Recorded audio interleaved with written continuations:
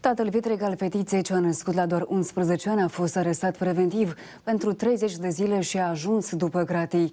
Bărbatul de 46 de ani este singurul suspect într-o anchetă penală pentru viol și este bănuit că și-ar fi agresată sexual fiica vitregă.